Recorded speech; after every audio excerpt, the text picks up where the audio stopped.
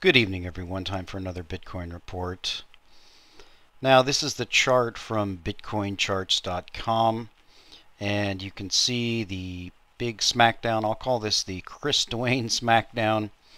Um, as you might know, Chris Duane and I had a debate on one of the silver interview channels at at one point, and we were in opposing camps, and uh, we agreed to disagree. And then he's done some Bitcoin videos. It was actually right at the point when he uh, picked the top on this that he brought out his uh, anti-Bitcoin videos. And uh, that's when I did the last video. We had this dramatic drop. Now, I was predicting that uh, based upon normal market uh, technical analysis that uh, I was expecting the market to bounce at the old high. It pretty much did that. Uh, I think the old high was 31 point something, but you can see it came down to about 33 and it bounced quite violently. Uh, I had sold quite a few, uh, virtually all my bitcoins by the time this happened, was looking for a correction. And uh, I used that as an opportunity to get back in. And then I used that as an opportunity to begin to diversify into other uh, cryptocurrencies. Now that's uh, going to be the main topic of the night. But uh, before we get over to that, I wanted to go to the blog and uh, take a look at that. I've been working very hard on this to get this up and running. And uh, there have been a lot of stories uh, breaking today. There's an interview with James Turk. Bitcoin was covered by Zero Hedge again. Um, there's the Adam versus the man Chris Duane battle going on. Here's an excellent interview with Jeffrey Tucker.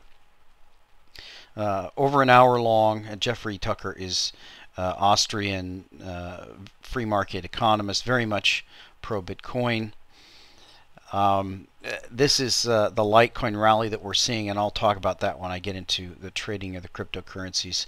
Just a lot of stories. There's so much it's hard to even cover it all going on, it seems like uh, Bitcoin is really starting to blow up and uh, get covered by the mainstream media. So I wanted to take you over to the forum, and you could just click this link at the top, and that will take you over to the forum. We've now got a version of vBulletin 5 installed, and uh, the forum is up and ready. Uh, Kevin, my uh, uh, super duper administrator, has got this running and uh, I'm really excited about it because vBulletin 5 is really neat. It has a lot of features. So we're going to expand the forum. Uh, feel free to come over and sign up. Probably going to do some kind of sweepstakes. I'd done in the past, when it was the old forum, I'd done a Bitcoin sweepstakes. I think that's going to be a little bit too expensive. Maybe I'll do a Litecoin sweepstakes. So head on over to the forum, sign up, and uh, do that. So let's go and look at this idea of these competing cryptocurrencies. But before we do that, I want to uh, show you Litecoin and what that is.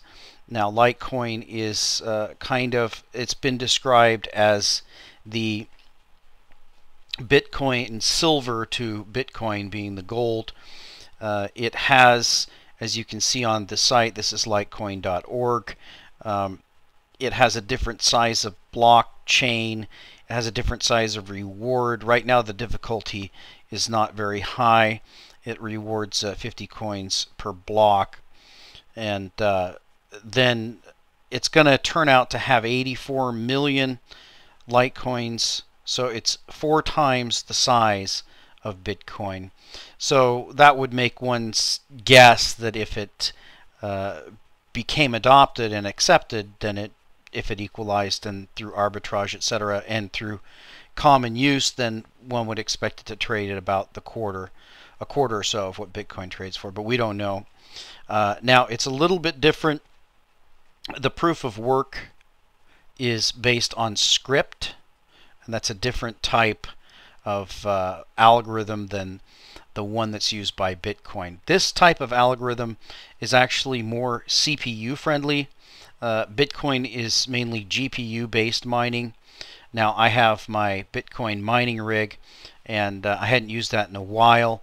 It uh, just based on the cost, it wasn't really productive, but I am going to get that converted over to being a Litecoin mining rig. So that's uh, Litecoin. Now what you do is you just download the client and install it. You can see that it really looks a lot like, here's just an empty one that I have. I haven't used it yet. Uh, it looks pretty much like the Bitcoin client. You have your send and receive coin sections and then your transactions address book. And then, uh, of course, you can mine from within the client. You can solo mine or you can pool mine. Now, I didn't run that. I actually ran a program called Scrypt Miner. So all you would do is go to Litecoin, uh, download the download the client, and uh, you're gonna unpack it and then install it depending on what operating system you have. Once uh, it's unpacked and installed, it's going to download the blockchain and that's going to take quite a while because it's fairly large. So your first startup is going to take some time before that uh, complete uh, blockchain is downloaded. Then you can uh, go, I use Scrypt Miner, you can go and find that and uh, you can download a miner. But before you do that, you're going to want to pick a mining pool. You can mine on your own, but if you do that, uh, it's less likely that you're going to be rewarded with any Litecoins. Now, the different mining pools you can see, I chose Notroll.in and there's a couple reasons I picked them. Uh, the first reason being that they seem to have the highest rate of uh, K hashes. That's just the computing power that's in the pool. And you can see that they're at 330,000. Uh, the very popular one uh, was uh, Litecool litecoinpool.org that's actually closed so you can't get into that one. So I chose I chose Notroll and the reason why I chose the one that is down here with the fee you have two different groups. You have these miners down here mining pools down here that have a fee and then these up here that don't. Uh, so that's a, a guaranteed fee and what that means is that you're rewarded whether or not you actually find something. So they're taking a risk because they won't necessarily be rewarded the amount of coins based upon your participation. You may or may not participate in a winning uh, find of coins, but uh, so they reward you based on how much hashing power you do, and they assume that they're going to find them in proportion, which they do, and then they charge this fee. So if you join one of these pools, like this pool that I joined, then uh, you're guaranteed of getting a certain amount of coins. So you can see I've signed up on their site here. It's really easy. You just go and log in. I'm actually logged in right now. You can see that it is uh, going at uh, 6.99k hashes. I've got it set low just to show you it's not really you know mining anything of any significance. You can see here I've mined a whopping 0.067 Litecoins and uh, so you have uh, a worker and that's going to be your account and then I'll put a dot one after that and then you're going to have a password and uh, then you just uh, go and log in with your miner. Now the reason why I'm showing you this is because and you can also have this payment address that they're going to send to you. So uh, you can get a payment address from your Litecoin wallet or you can go online uh, which I have uh, with uh, Vicarex and we'll go there in a bit but uh, you can get a address from your Litecoin wallet or an online account. This one is from that Vicarex account. And uh, then they will send whatever coins you mine to that address. So those are the pieces of information that you need. You download your client, you sign up for a mining pool, you get the settings. Under help, you get the name, the website. You're going to configure with that, and then the port that it's on. So those are the two pieces of information you're going to need there. And then at the home, you're going to have the name of your worker and the password. So if we go over to this scrypt miner, uh, you can see I'll go ahead and stop mining and you can see how I've put that in there. There's the server, there's the username, there's the password, and there's the port.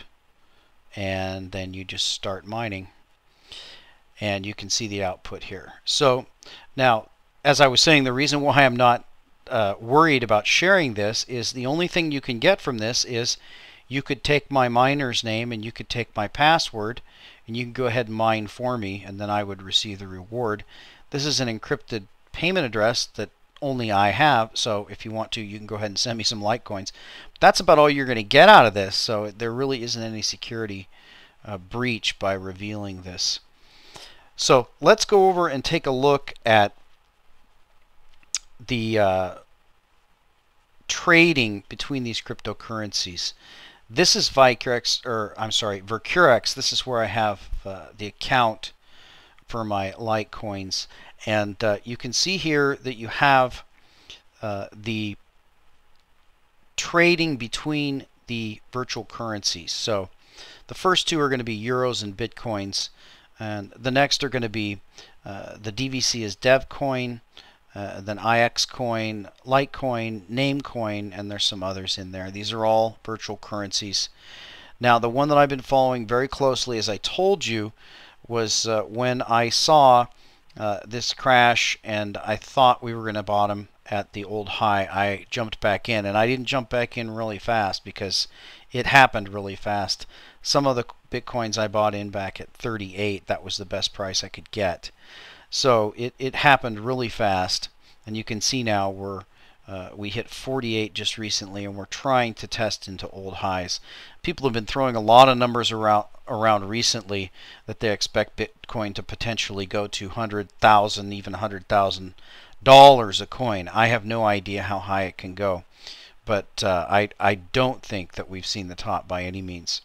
So at that point, I did flip a large amount of my bitcoins into Litecoins, and uh, you can see that since that point, Litecoin has actually risen from about 0.0045 to 48. That's where I got in. It's now 0.0079, so I've almost got a double on that, and uh, I can move those back if I decide to back to bitcoins or I could also buy some Namecoins.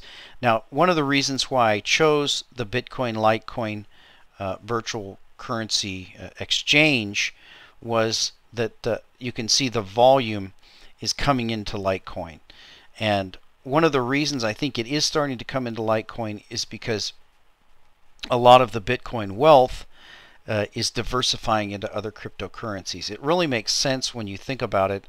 Why would you want to take your bitcoins at a high and sell them all off uh, and go into dollars. Why not go into something else uh, that maybe is very underpriced and get back into bitcoins?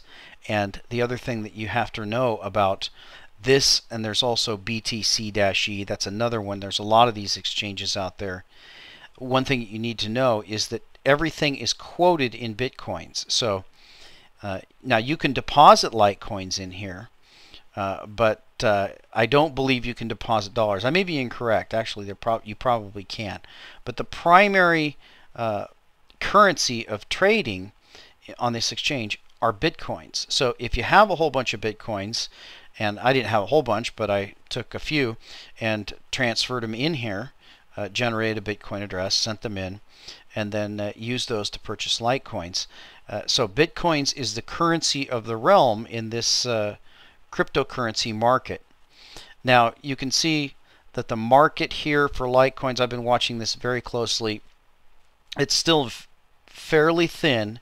You can see that uh, the quotes are in, I'll, I'll zoom this in a little bit. The quotes are in Bitcoins and Litecoins. So uh, this column over here are the buy orders, this column are the sell orders, and here's the recently executed orders. So you can see what's hanging over the market right now, at uh, 0.79 um, 0.0079 BTC to LTC is 8.8 Bitcoin. So that's a pretty uh, heavy overhead waiting there, and uh, that amounts to about 1,100 Litecoins, and then right up a little bit higher is another 1,400 Litecoins. We've got 51 Bitcoin sitting here at 0.008, and then down here at 0.01, that's going to be one bit cent for a Litecoin. So a Litecoin is one one hundredth at that point of a Bitcoin. You can see there's 30,000 Litecoins waiting overhead, or 302 Bitcoins waiting to be sold. So uh, there's going to be some significant significant overhead resistance waiting, but uh, I do expect uh, this Litecoin rally to continue as the Bitcoin price rises. Now, what's fascinating about this is this rally actually occurred while Bitcoin was rallying against the dollar. So, as Bitcoin is rallying against the dollar, Litecoin is rallying against Bitcoin. So that's actually a double uh, bonus there. But I just really like the idea. Now, is it as secure? Um, it seems to me that uh, the crypto is just as valid. Uh, I don't know why it wouldn't be as secure. I haven't done thorough research as I've done on Bitcoin, uh, but uh, it seems to be that the market is indicating that it has confidence in it. The other one that I'm watching closely is Namecoin. Uh, I don't really know that much about it except for the fact that it's it's basing a, no a, domain name system, uh, a Bitcoin domain name system, and but I don't really know that much about it. The volume is very very low. I'm going to keep a very close eye on the volume, and if I do see some interest, I may diversify into Namecoin. So that's uh, the extent of my diversification so far. Uh, the DevCoin I think is primarily for developers. So those are the top three I'm keep, keeping an eye on. Now, remember, you can always switch back to Bitcoin. So if I decided to switch back to Bitcoins, it looks like I could pick up not too many Bitcoins. I would actually have to go down to Oh, I'm sorry. We're in Namecoins.